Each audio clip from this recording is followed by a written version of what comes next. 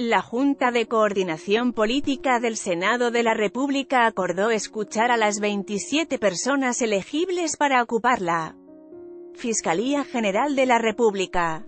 Comparecerán ante la Comisión de Justicia en dos grupos, el lunes próximo 12 candidatos y el martes los otros 15, para valorarlos y poder hacer el ejercicio de selección de la lista de 10 para enviarla al Ejecutivo Federal el próximo miércoles. En conferencia de prensa, su presidente, el senador Ricardo Monreal Ávila, Morena, al término de la reunión privada de los integrantes de la JCP, comentó que no es apresurado en dos días de comparecencia conocer a los candidatos aspirantes es un esfuerzo importante porque el día de hoy se iba a sacar la lista y se podría haber enviado inmediatamente, pero no, al contrario, nos detuvimos en el proceso para que los escuchemos comentó que se instruyó a la Comisión de Justicia para que los reciba, los escuche y para que puedan presentar documentos sobre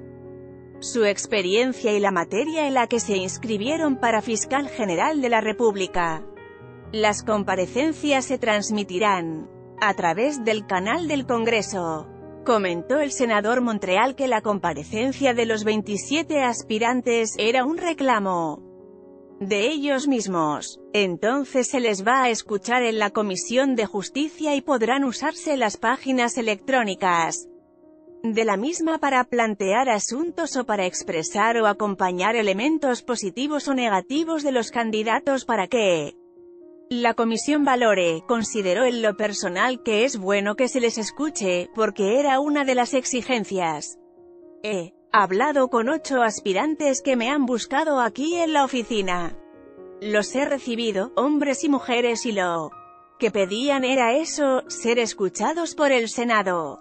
Y van a ser escuchados. Me parece que es una posición correcta, y después de ese ejercicio, la Junta de Coordinación Política habrá de emitir una lista de 10 candidatos por lo menos para que el Pleno lo apruebe el próximo miércoles y ese mismo día, pueda enviarse al presidente de la República. Puntualizó que las organizaciones de la sociedad civil no tienen posibilidad de participar, pero lo pueden hacer a través de los senadores. Confió el senador Montreal que la autonomía que garantiza la Constitución, para el caso de la Fiscalía General, se lleve a cabo en la práctica por quien resulte, hombre o mujer, seleccionado por el Senado.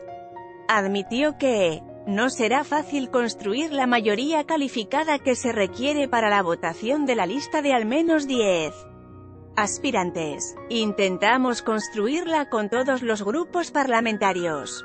No es fácil, manifestó que los tres últimos días ha platicado con todos los grupos parlamentarios, con sus coordinadores.